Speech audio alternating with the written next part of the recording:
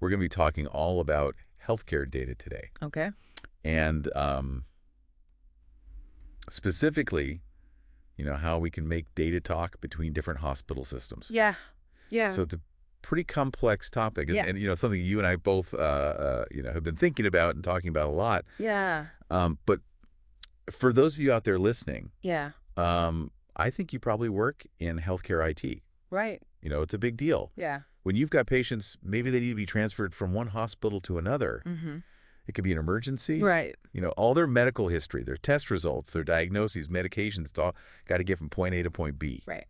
And it needs to happen fast. Right. Seamlessly. Yes. Seamlessly and securely. Seamlessly and securely. Exactly. So how do we make that happen? What's the magic behind it? Well, I think the magic is that there's no magic. Right. Right. It's a lot of hard work Yeah. and there's a lot of collaboration going on and a lot of technology. So we've got these acronyms floating around. You've probably seen them in your work. Oh, yeah. HL7, FHIR, DICOM. What are these? Well, they're all standards Okay. that we use in healthcare to make sure that the data can talk to each other, Okay. right? To make sure that the systems Like a common language? Yeah, like a common language. So Mhm. HL7, health level 7, that's kind of the granddaddy of them all. Been around for a while. Okay. Yeah. You've got different versions of it, V2, V3, you know, they're still out there. But FHIR, FHIR. FHIR is the new kid on the block. It's fast healthcare interoperability resources. Okay, so FHIR is like the cool new language that everybody wants to learn. It is. It's it's built on modern web standards. Oh. So it's much easier to implement. It's much more flexible. It uses these things called RESTful APIs. APIs. hmm So, and it's it's really designed for this data exchange in a way that the older versions of HL7 weren't. Okay, so it's really purpose built Yeah. for what we're trying to do here. Exactly. Okay. Now you mentioned DICOM. What's that about? DICOM is all about images. So digital imaging and communications in medicine. That's what it stands for. So like X-rays and X-rays, CT scans, MRIs, all that kind of stuff.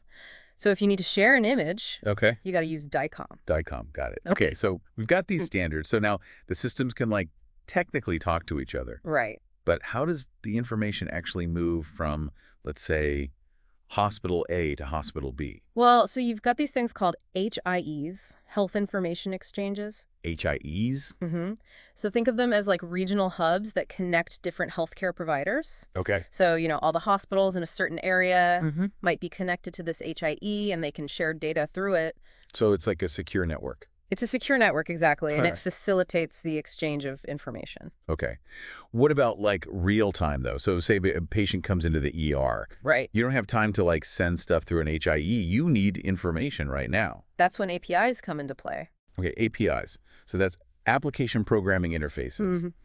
They allow systems to basically directly communicate with each other. Yeah, they're like a direct line. So you can request specific information Okay. from another system and get it back in real time. So are all APIs the same? No, there are different types of APIs. Okay. Um, but the ones that are becoming really common in healthcare are RESTful APIs. Okay. Um, and those work really well with FHIR, which is what we were talking about earlier. Got it. Um, and they're just, they're really good for this kind of web-based data exchange. Okay, so they're kind of like built for speed and efficiency. Yeah, exactly. All right, so we've got all these different systems, different standards. They're talking to each other. They're sending data back and forth. Right. But how do we make sure that they're actually understanding each other? Like, what if one hospital calls a certain lab test one thing and another hospital calls it something slightly different? That's where data mapping comes in. All right. So data mapping is all about making sure that the data itself is consistent Okay. across different systems. So even if two hospitals are using FHIR, Hmm. they might code a specific condition differently. Right. Um, and so data mapping makes sure that everybody's speaking the same language at a data level. So are there any like examples you can think of where this data mapping becomes really, really tricky? Yeah, definitely. So think about allergies. Like one hospital might have a very specific code for a peanut allergy.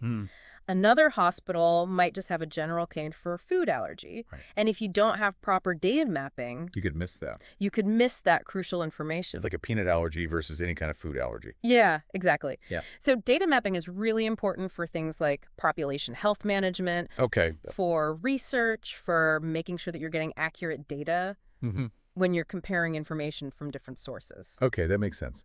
Now, let's switch gears a little bit and talk about security and privacy. Because we're dealing with very, very sensitive information here. Right. So how do we make sure that all this data that's flying back and forth is protected? So HIPAA, that's the Health Insurance Portability and Accountability Act, provides the legal framework Okay. for protecting patient privacy. okay. But we also have a lot of technology that helps to enforce those rules. Okay. Um, so things like encryption, Encryption. that's really important. It's like putting your data in an armored truck, right? Yeah. So even if somebody intercepts the data, Mm-hmm. they can't read it without the key. Right. It's scrambled. It's scrambled. And we also have these things called audit trails. Audit trails. Mm-hmm. And they track every access Okay. modification of patient data. So who looked at what when? Yeah, exactly. So it's kind of like a security camera for your data. Right. Okay, so before any of this sharing even happens, Mm-hmm. are there agreements that hospitals need to have in place with each other? Absolutely. Yeah. So we have these things called business associate agreements or BAAs. BAAs. BAAs. Mm-hmm.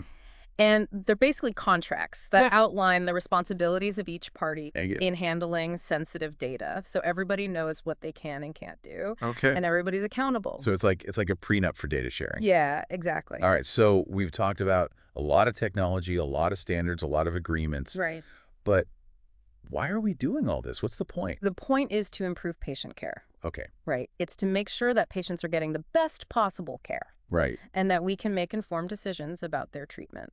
So give me an example. How does this actually play out in the real world?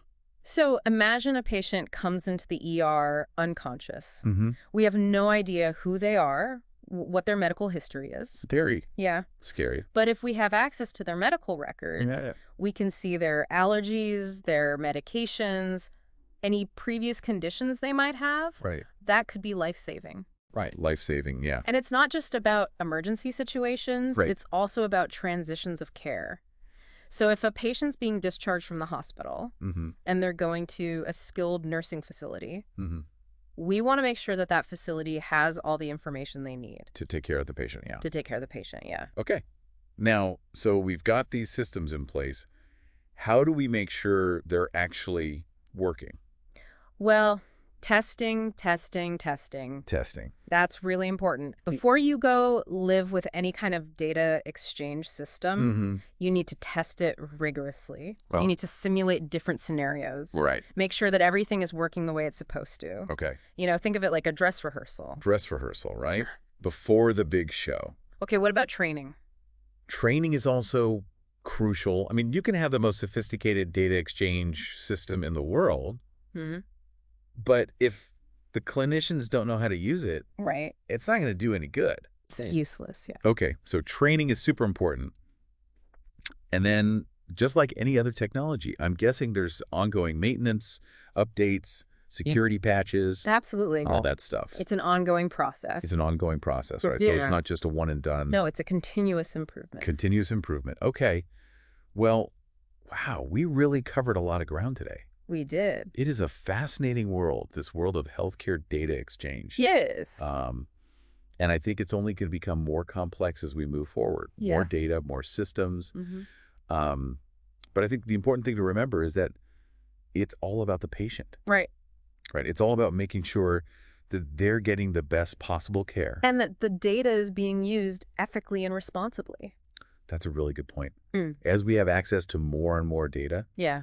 We need to be very mindful Mm-hmm. of how we're using it, Yeah. you know, to make sure that it's being used for good Right. and not for, you know, Yeah. any nefarious purposes. Exactly. All right. Well, with that, I think we'll wrap up this deep dive. Okay. I really appreciate your insights today. It was my pleasure. And, um, you know, this is a topic that I think we're all going to be continuing to talk about Yeah. and think about for a long time to come.